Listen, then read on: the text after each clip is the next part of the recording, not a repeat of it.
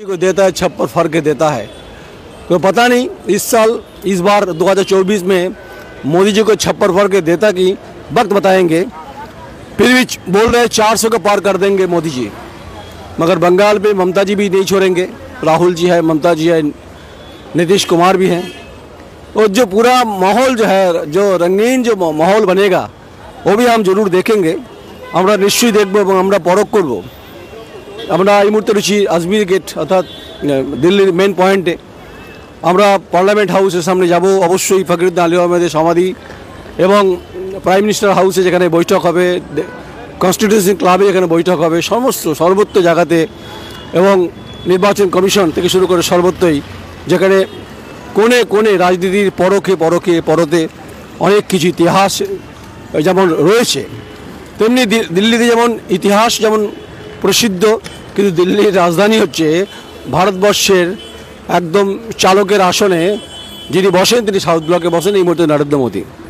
তাই India versus NDA জোট আদৌ কতটা রং নেবে, রূপ নেবে, বর্ণ নেবে, গন্ধ নেবে, সেটা সময়, পরিস্থিতি আর হিমেল বাতাসের সঙ্গে পরিষ্কার হবে। একদিকে পশ্চিমবঙ্গের বিজেপি, তাদের অভিযোগ কার্যত শাসক দলের বিরুদ্ধে। এসএসসি টেট ইস্যুতে আক্রমণের তুঙ্গে বাম কংগ্রেস তারাও পিছিয়ে নেই। এই জোট শেষ অবধি কী হবে সেটা এখনই আলোচনার সময় আসেনি, বলারও সময় আসেনি। যেহেতু রাজ্যের মুখ্যমন্ত্রী মমতা বন্দ্যোপাধ্যায় তিনি দীর্ঘদিন তার সংসদীয় রাজনীতিতে তিনি বিরাজমান, কারণ রাজীব গান্ধী জামানা থেকে তিনি মন্ত্রী, তারপর সাংসদ, দীর্ঘ কয়েক দশক তার এই, ভারতবর্ষে পলিটিক্সে তার অবদান রয়েছে, অর্থাৎ যে কন্ট্রিবিউশন অফ পলিটিক্স সেটা অবশ্যই মমতাজির আছে। কিন্তু she is most senior political person তাই মমতাজিকে সামনে রেখে ইন্ডিয়া জোট কতটা সংঘবদ্ধ হয়, সেটা পরিস্থিতি ঠিক করবে। কারণ কংগ্রেস এবং লেফট ফ্রন্ট তারা তাদের মতো করে বিভিন্ন মত প্রকাশ করছেন। তাই হাওয়া বইছে সনসন করে বইছে না। যমুনা পাড়ের হাওয়া, এখানে বেশ কামড় দেওয়ার মতো হাওয়া। তাই রাজনৈতিকভাবে কামড় এখানে ইন্ডিয়া জোট আদৌ দিতে পারে কি না সেটা সময় বলবে কারণ চার রাজ্যের নির্বাচনে তিনটি রাজ্যের ক্ষমতার একদম হচ্ছে অলিন্দে ঢুকে পড়েছে ভারতীয় জনতা পার্টি, নরেন্দ্র মোদী সরকার।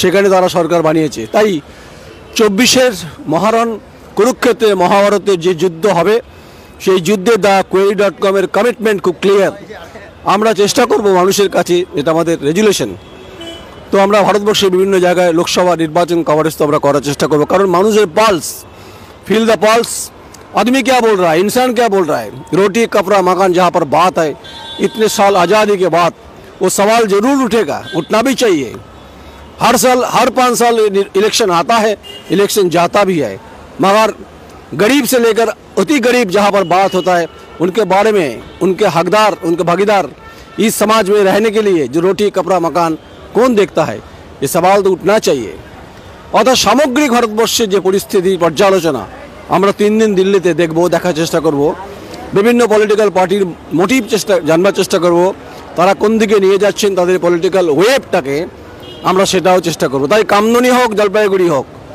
পুরুলিয়া হোক ডুয়ার্স হোক মুম্বাই হোক আমরা দিল্লিতে এই মুহূর্তে তাই রাজনীতির যে বিকেন্দ্রীকরণের যে কথা অর্থাৎ পলিটিক্যাল যে ক্যাপিটাল বলা হয় রাজ মানে রাজনীতির রাজধানী दिल्ली और इतिहास का अ, রাজধানী বিহে হ্যাঁ, আর রাজনীতির অলিন্দের সন্ধিক্ষণের বহু ঘটনার সাক্ষী এই দিল্লি।